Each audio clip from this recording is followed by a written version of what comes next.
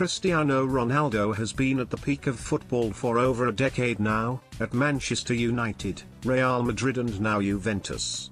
Over his career he has won a multitude of trophies, including three Premier Leagues, two La Ligas and a whopping five Champions League medals. On an individual scale, no player holds more Ballon d'Or trophies than him on five, while he also added Portugal to a European Championship and Nations League victory.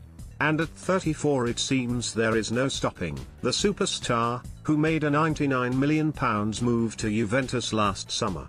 Ronaldo is gearing up for another assault on the Champions League with Juve, Image, Getty, that is until now after the Portuguese ace admitted he could call time on his career very soon. It could be as close as next year that we see the last of Ronaldo in a football shirt, though he also revealed he could be gracing pitches into his 40s.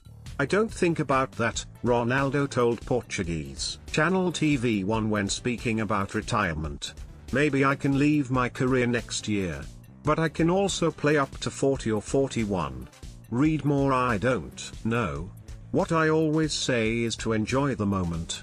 The gift is excellent and I have to continue to enjoy it. Last season, Ronaldo scored 28 times in 43 games to help Juve win Serie A in his first year in Italy. Cristiano Ronaldo helped Juventus win another Serie A title in his first year. At the club, Image, PA, the ex-sporting star broke the world record when he joined Real Madrid from United after moving for a fee of £80 million. But Ronaldo has taken aim at the current stat of the market, earmarking Atletico Madrid new Joao Felix as the only exception in the inflated market. Read more It's difficult to make calculations in modern football, Ronaldo added. Clubs gamble a lot on potential and the football industry is different. Leaving the case of Joao Felix to the side, any player can go for 100 million euros, even without showing anything. Joao Felix has already impressed for Atletico Madrid this season there is more money in football,